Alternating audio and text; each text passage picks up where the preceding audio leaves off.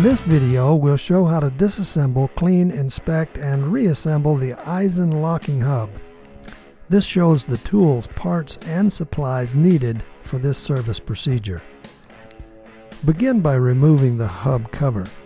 These bolts should have already been removed during the front axle disassembly. Turn the hub housing over on the workbench. Remove the larger snap ring using a small standard screwdriver. Then remove the small snap ring using snap ring spreader pliers. Now that both snap rings are removed, let the inner hub drop out of the bottom of the housing. Remove the spacer from the inner hub and set both parts aside. Now separate the clutch, spring, and pawl assembly from the hub cover by rotating the pawl clockwise until the tabs align with the openings. Set the pawl assembly aside and remove the hub cover gasket.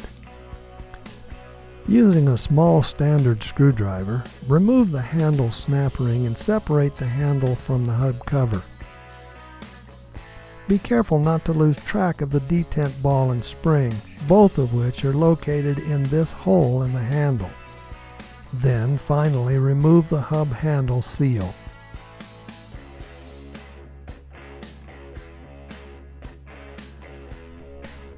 Now remove the clutch spring and set it aside. Next, we'll remove the pawl and spring from the clutch. This is done by first removing the pawl using a standard screwdriver and then removing the pawl spring by rotating the spring counterclockwise. That concludes the disassembly procedure of the Aisin hub. Clean the handle and hub cover using a bead blast machine or other suitable method. These two parts could be painted if desired. Clean and inspect all other parts using a good quality degreaser and a cloth. If any parts are observed to be damaged or worn, replace them. Now that all the parts are clean and inspected, we're ready for reassembly. Completely lube the freewheel hub ring with a good quality grease and place it in the hub housing as shown. Lube the collar of the inner hub, the inner hub spacer, and place it on the collar of the inner hub. Place the housing over the inner hub and a cloth under the inner hub to keep it in place. Using snap ring spreader pliers, install the small snap ring.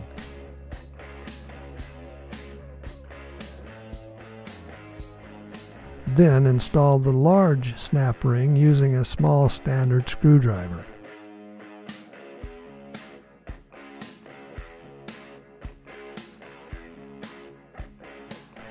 Check to see that the inner hub moves freely. Install the pawl spring on the pawl such that this bend fits against this tab and this tab fits between the two loops of the spring as shown. Then install the pawl and spring assembly on the clutch by aligning this end of the spring with this groove on the clutch. Put the parts together ensuring that this tab fits in a groove and all these tabs align with the corresponding teeth. Then push the spring end down into the clutch groove with a standard screwdriver. Once the end of the spring is located properly, work the rest of the spring into the groove as shown.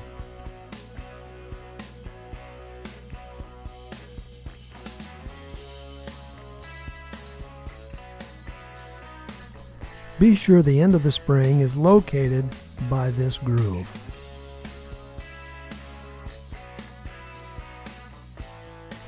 Also, make sure the spring fits all the way around in the groove, as shown. Install the handle spring with the smaller end against the pawl and set this assembly aside. Next, we'll install the handle in the hub cover. This is done by installing a new seal on the handle. Be sure that it sits squarely in the groove and is not twisted. Apply a small amount of grease to the spring and insert it in the handle hole. The grease is to keep the spring from falling out during assembly. Then install the detent ball on top the spring and apply a small amount of grease to keep it in place as well. Lube the seal and handle with a small amount of grease. Then place the hub cover on the handle, aligning one of the V-shaped grooves with the detent ball. Be sure that the handle moves freely between lock and free positions and snaps into place in both locations. Be sure to leave the handle in the free position. Place the hub cover on a cloth to prevent marring and install the snap ring using a small standard screwdriver. Install the hub cover gasket and align it with the bolt holes. Position the spring and pawl assembly on the hub cover. Align the pawl tabs and lock it into place by rotating the clutch counterclockwise. The hub cover handle is now in the free position, ready for installation. Apply grease to the inside of the hub housing. With the hub cover handle still in the free position, align these double teeth and this tab with this larger groove in the housing. Once the teeth and the groove are properly aligned, install the cover on the hub housing, making sure the gasket is positioned properly. Install the hub cover bolts. Snug them using a 10 mm socket. There's no need to torque them at this point as they'll need to be removed when the hub is installed later. Once the bolts are snug, be sure the handle is still in the free position and check to see that the inner hub moves freely. Then move the handle to the lock position and check to see that the inner hub is locked and does not move freely. That concludes this section on hub disassembly, cleaning, inspection, and reassembly. If ever we can help you with any of your off-road needs, simply log on to www.lowrangeoffroad.com or give us a call at 801 805 6644.